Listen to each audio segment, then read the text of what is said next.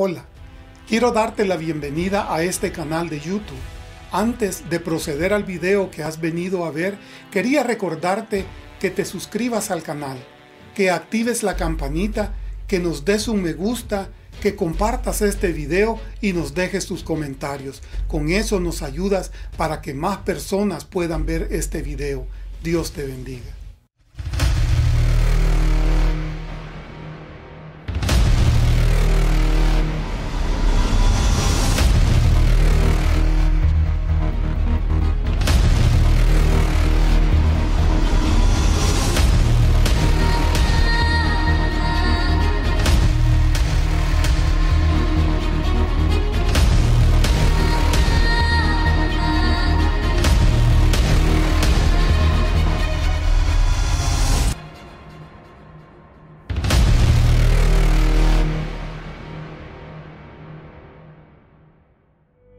Reflexión de este día, ¿tan grande es el amor de Dios? María Dyer nació en 1837 en el campo misionero de China, donde sus padres fueron misioneros pioneros. Sus padres murieron cuando María era una niña y fue enviada de regreso a Inglaterra para que la criara su tío. Sin embargo, la pérdida de sus padres no disuadió a su joven corazón de la importancia de compartir el Evangelio. A los 16 años, ella junto a su hermana regresaron a China para trabajar en una escuela para niñas como misionera.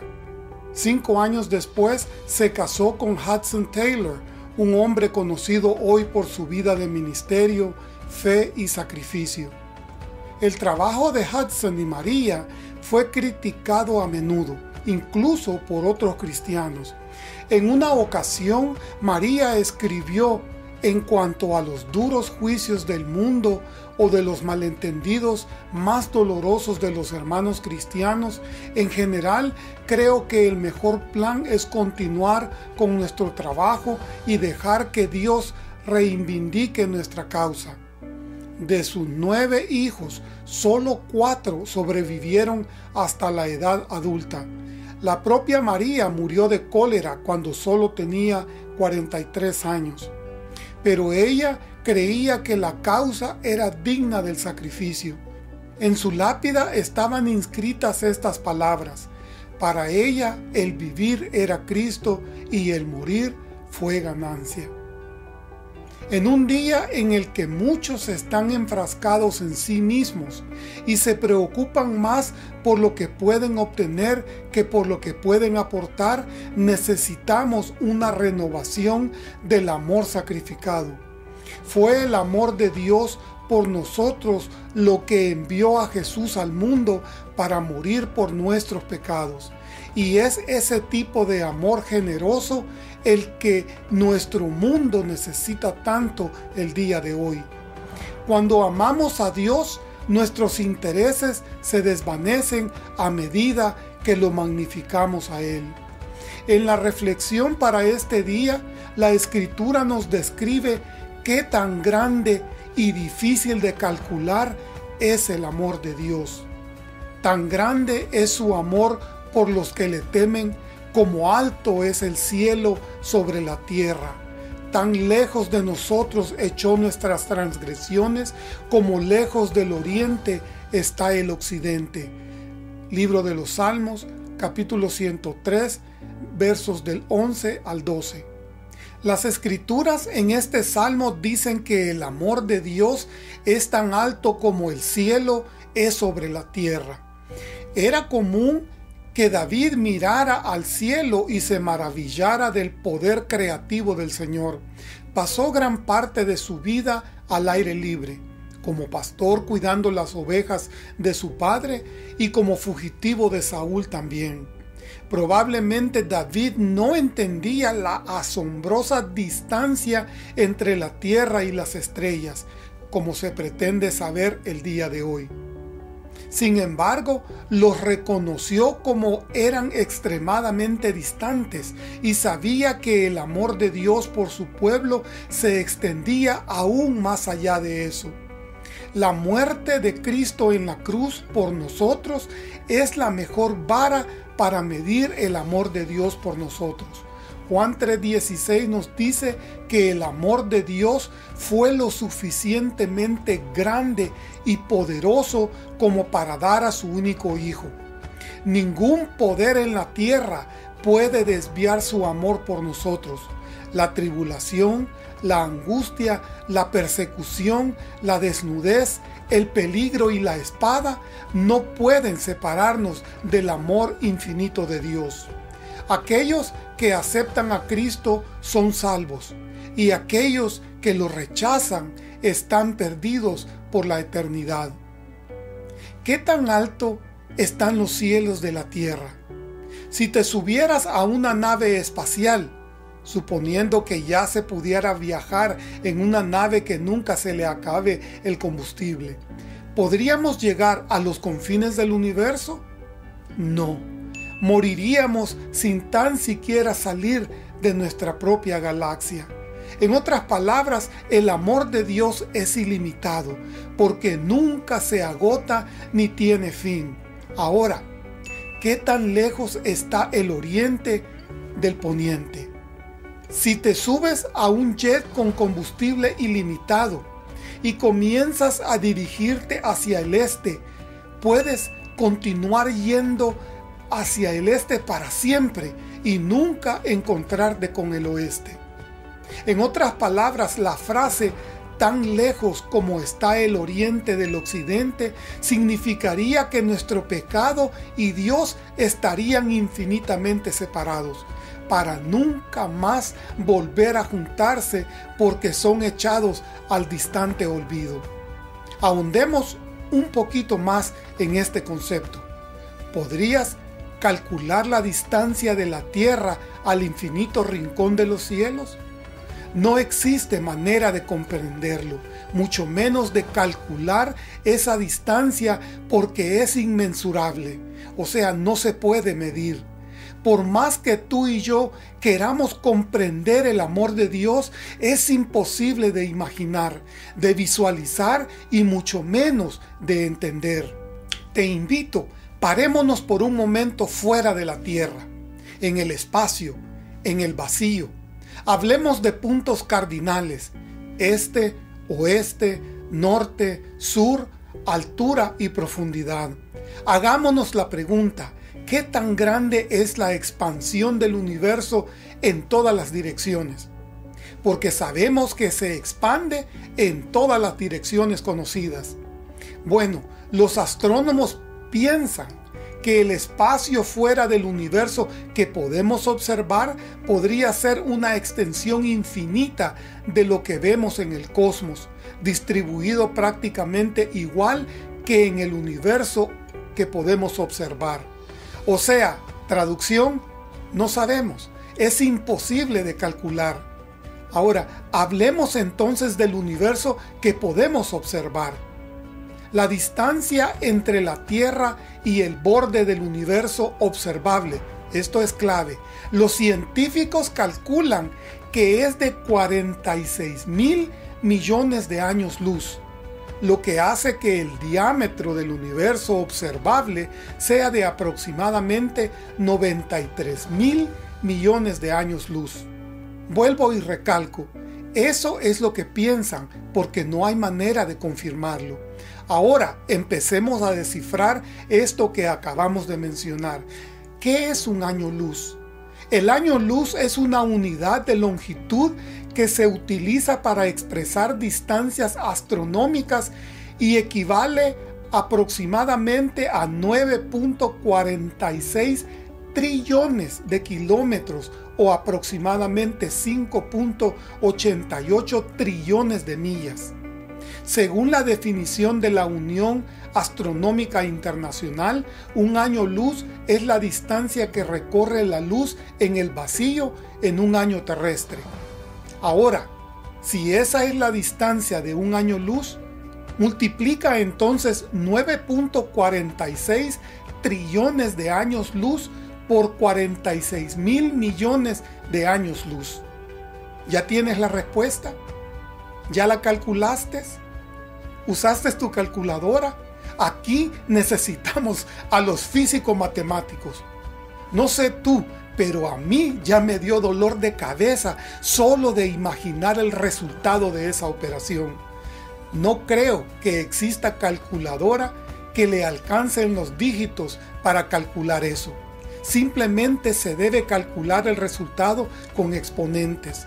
Por eso, vuelvo y repito, traducción no se sabe. Ahora, dime, empiezas a entender lo que el verso nos está tratando de decir acerca del amor de Dios? ¿Tienes ahora una idea de la grandeza del amor de Dios? Su amor es infinito, inmensurable e incalculable. Esas palabras se quedan cortas y pequeñas al querer explicar el tamaño del amor de Dios. ¿Con qué razón dijo el salmista David lo siguiente? Los cielos proclaman la gloria de Dios y el firmamento despliega la destreza de sus manos. Salmo capítulo 19, versículo 1. Y en el Salmo 8 escribió, Cuando miro el cielo de noche y veo la obra de tus dedos, la luna y las estrellas que pusiste en su lugar, me pregunto, ¿qué son los simples mortales para que pienses en ellos? Los seres humanos para que de ellos te ocupes. Salmo capítulo 8 versos del 3 al 4. Mas sin embargo, aún con lo pequeños que somos en comparación a la creación de Dios, Él tuvo a bien escogernos para derramar su amor, rescatarnos y hacernos partícipes de la promesa y la herencia de su Hijo Jesucristo en los cielos. En el Salmo 103, David está predicando a su propia alma. Le dice a su alma que bendiga al Señor y que no olvide todos sus beneficios. Cuando recordamos lo que Dios ha hecho y está haciendo por nosotros, nuestra alma automáticamente se regocijará y bendecirá su santo nombre. Tomemos cada versículo y veamos lo que Dios quiere que aprendamos y sepamos acerca de Él. Cuán grande es su gran amor para con todos los que le temen es tan alto como los cielos sobre la tierra. En otras palabras, el amor de Dios es tan grande que de ninguna manera podemos medirlo. Es ilimitado. Podemos intentar ponerle palabras, pero pronto nos damos cuenta de que nuestras palabras son demasiado pequeñas. El amor de Dios es inmensurablemente alto y este gran amor es inquebrantable no cambia, es consistente y es confiable. No hay mejor analogía para describir el acto absoluto de misericordia a través del perdón que Dios nos da a su pueblo por medio de Jesucristo. Cuando somos perdonados, nuestra vergüenza desaparece para siempre. Nuestra culpa es perdonada para siempre nuestra deuda ha sido pagada para siempre. Hemos sido liberados de nuestras transgresiones por toda la eternidad. Vemos la tierna compasión de nuestro Padre Celestial, una compasión que comprende nuestras debilidades. Él conoce nuestro marco y comprende completamente nuestras deficiencias y de qué estamos hechos, de polvo nos muestra compasión que no merecemos y que no hicimos nada para ganar. Él se mueve hacia nosotros como un Padre tierno que está lleno de compasión por sus pequeños hijos. Así, en estos versículos se nos presentan tres de las similitudes más hermosas, apropiadas y reconfortantes del mundo. Cuando alzamos nuestros ojos, y contemplamos a nuestro alrededor la elevada y estupenda bóveda del cielo que nos rodea, protege, ilumina y refresca, aprecia la tierra y todas las cosas que en ellas hay. Estas maravillas nos invitan a contemplar en ese espejo la altura inmensurable y la extensión ilimitada del amor de Dios. En el Nuevo Testamento, Pablo repitió lo que se sabe a gritos por milenios referente al amor de Dios y el amor de Cristo. Él escribió en la carta a los Efesios. Espero que puedan comprender como corresponde a todo el pueblo de Dios, cuán ancho, cuán largo, cuán alto y cuán profundo es su amor. Es mi deseo que experimenten el amor de Cristo, aun cuando es demasiado grande para comprenderlo todo. Entonces serán completos con toda la plenitud de la vida y el poder que provienen de Dios. Efesios capítulo 3 versos del 18 al 19. El apóstol Pablo dijo, es mi deseo. Y yo te digo el día de hoy con mi corazón en la mano también, que es mi deseo el que podamos juntos experimentar el inmensurable amor de Dios. Él ofrece a manos abiertas lo que nuestra alma necesita, que es el perdón de los pecados, la culpa de nuestros pecados, de nuestra persona y conciencias. Lo que debemos entender es que Él nos ha perdonado completamente para no recordarlos nunca más. Como un padre se compadece de nosotros, Ningún padre puede ser más indulgente y tierno de corazón con sus hijos que regresan que el Señor con aquellos que reforman de tal manera con sus castigos como para temer después volver a ofenderlo. Mi querido amigo y hermano, los cielos proclaman la grandeza de Dios, su amor y su misericordia que no pueden ser medidos porque de tal manera amó Dios a este mundo que para demostrarlo envió a su único Hijo a morir por nosotros los pecadores. La máxima expresión de su amor que no tiene cálculo alguno estuvo de acuerdo en ver a su mismo Hijo sufrir en la cruz del Calvario. Nosotros necesitamos responder a ese amor inmensurable, dando nuestro corazón para que nos guíe hasta el día de nuestra muerte. Así de grande es el amor de Dios. Nuestro bondadoso y lleno de amor Dios aunque nos sea difícil poder entender tu amor inmensurable, queremos rendirnos ante ti el día de hoy y suplicarte que nos tomes y nos guíes como a tus hijos. Declaramos este día que tú eres el único Dios verdadero y que Jesucristo es nuestro medio de salvación. Acepta nuestro corazón el día de hoy, pues te lo venimos a rogar y a entregar en el nombre que es por sobre todo nombre, en el nombre de Jesucristo. Amén.